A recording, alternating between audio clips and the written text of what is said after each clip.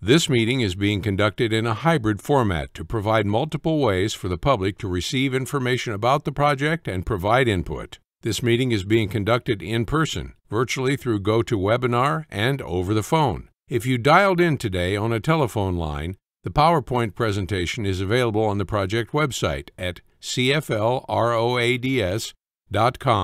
forward slash P-R-O-J-E-C-T forward slash 448789-1. The purpose of tonight's meeting is to explain the project goals, present the department's recommended improvements to help achieve those goals, and hear from the community about the proposed changes.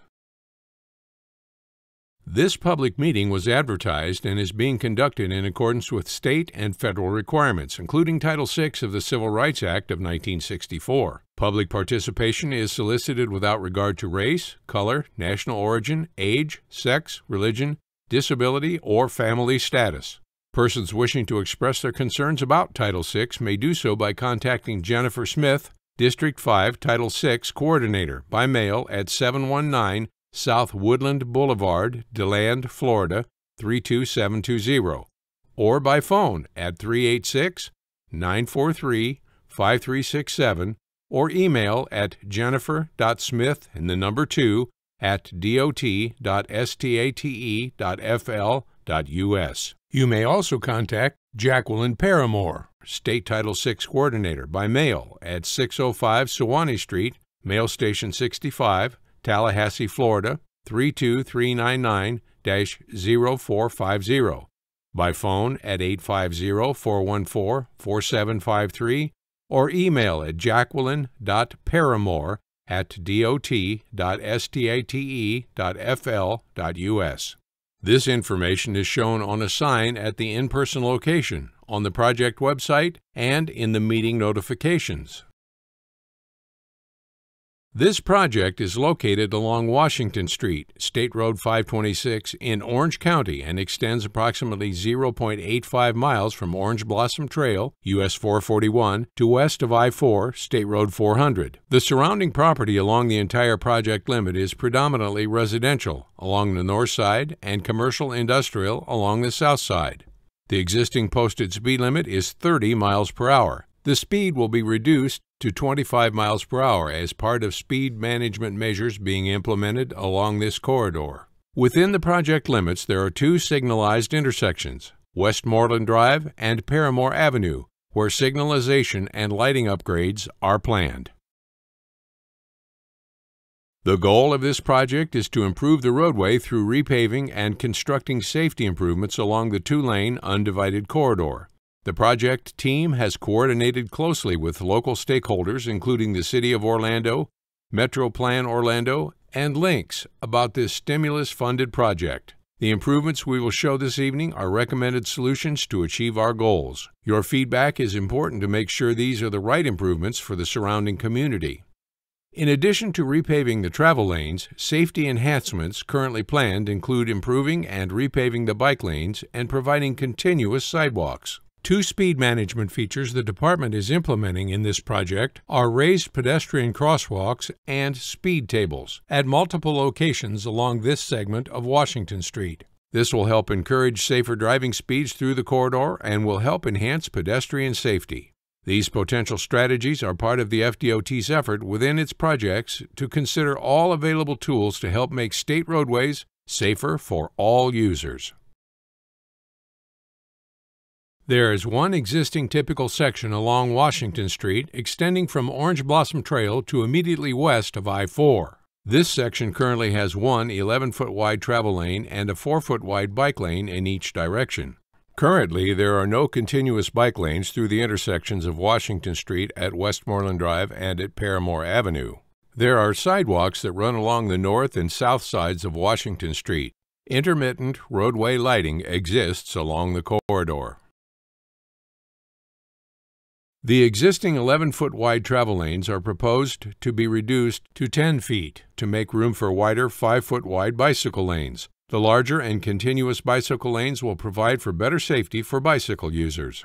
Also, the existing eastbound and westbound left turn lanes at Westmoreland Drive and Parramore Avenue are proposed to be eliminated, making way for continuous bicycle lanes through those two signalized intersections.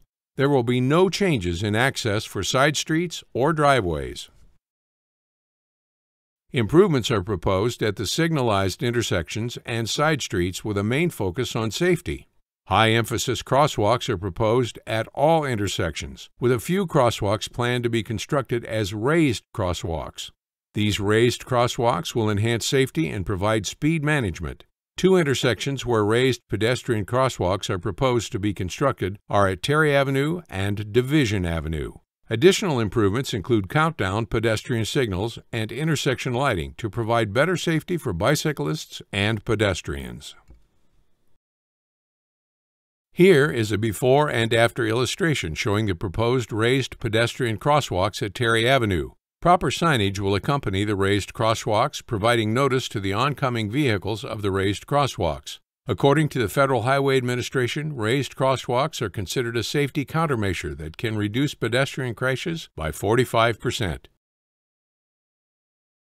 Here is a before and after photo on the Washington Street corridor showing a raised speed table. A speed table is a raised hump in the roadway as depicted in the after photo on the right side of this slide. Proper signage will accompany the raised speed table, providing notice to the oncoming vehicles of the table ahead.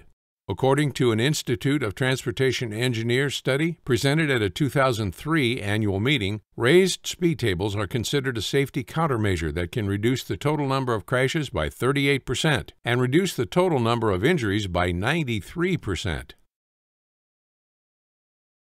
The project is currently in design to be completed spring 2023.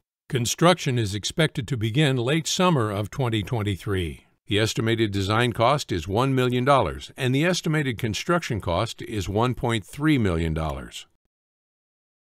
We encourage your input and feedback about this project, and there are multiple ways for you to participate. All public comments and questions are part of the public meeting record, and every method for providing public comments and questions carries equal weight.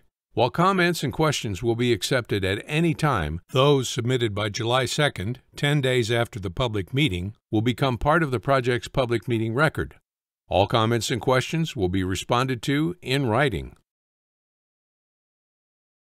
To submit comments in person, you may speak to our project staff on the floor or complete a printed comment form and return it to project staff.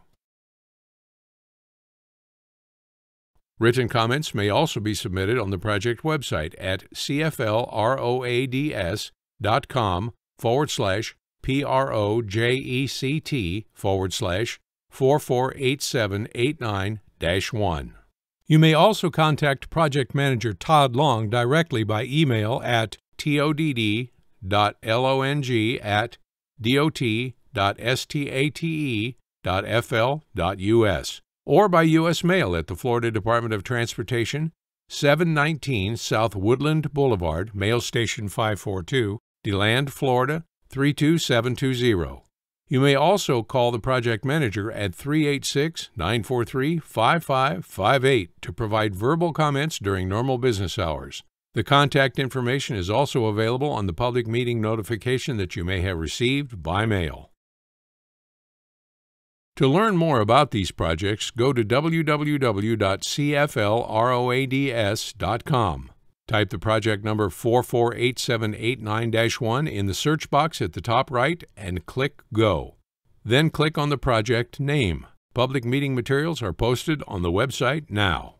On behalf of the Florida Department of Transportation, thank you for attending this public meeting and providing your input on this project. If you have comments or questions after the meeting, please submit them by July 2, 2022. Contact information, a recording of this presentation, project documents, and other exhibits displayed at the public meeting are posted on the project website at cflroads.com forward slash project forward slash 448789 1. Have a good evening.